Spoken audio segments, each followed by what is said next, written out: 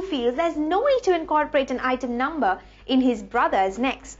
In today's time, when an item number carries equal weightage as a film script, Salman Khan and his Chote Bhaiya Sohail Khan have decided not to feature any item song in their upcoming film titled Mental.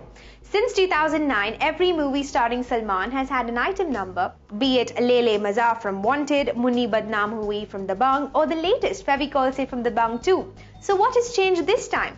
According to Sohail, Mental is a sensible film, so no item songs. After dancing with some of the most gorgeous babes of B-Town, Salman has decided to take a break from the series of item numbers he's been doing off late. Certainly, Bollywood is not done with uninhibited skin shows and sleazy item numbers.